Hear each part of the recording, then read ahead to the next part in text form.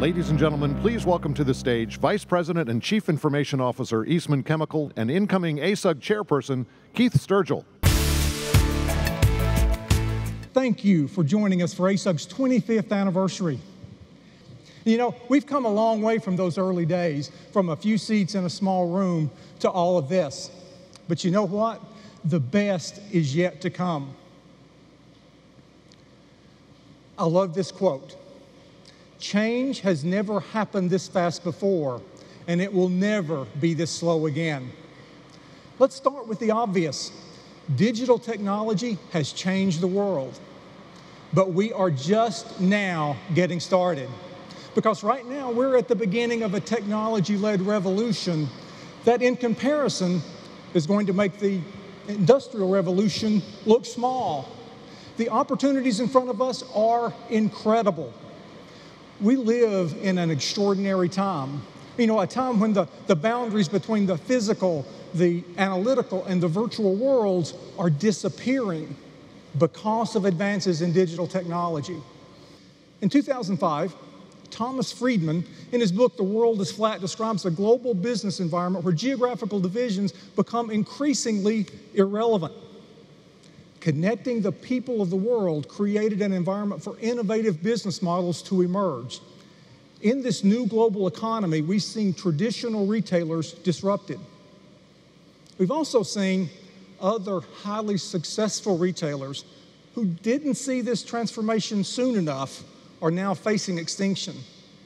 All of us, all of us, have greatly benefited from the rise of the consumer internet. And while the consumer internet has transformed retail business and how people connect, physical assets have remained largely isolated. The Internet of Things, or maybe I should say the Internet of Everything, will overcome this barrier and bring physical assets into the connected world. Now, I don't want you to miss this. Connecting the physical world will far exceed the impact of the consumer internet. Gartner predicts that by 2020, only four years from now, there'll be 7 billion people connected, but more than 35 billion devices, by some estimates, 200 billion, growing quickly to 1 trillion. And this includes 100 million light bulbs. yeah, light bulbs. If something as boring as a light bulb will be connected, you can bet everything will be connected. So, what do you think all this means for the future of our companies? How do we begin now to start thinking about a world that's going to generate business models that we can't even imagine yet? Without a doubt, this will require an expanded mission if we're going to succeed in this new revolution. This new age will require new thinking because efficiency focuses on organizations, but insight Insight focuses on the individual. We will move quickly into the realm of tough decisions, decisions that involve forecasting, prediction, and even judgment. We are facing the defining moment of our careers.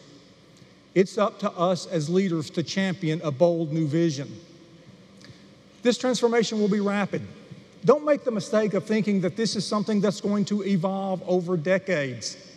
When things go digital, the speed of change becomes exponential. Regardless of your industry, the digital revolution will permeate your organization. We must start thinking about our business as a decision machine. Digital business will require us to be more agile.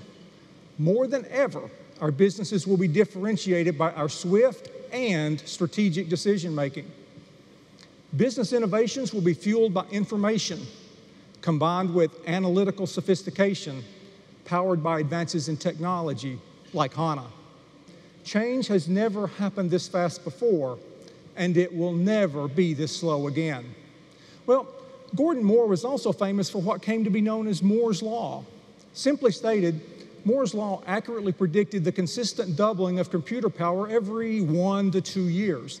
All of us have seen that consistent doubling across our careers, but we haven't seen anything yet. Buckle your seatbelt, the best is yet to come.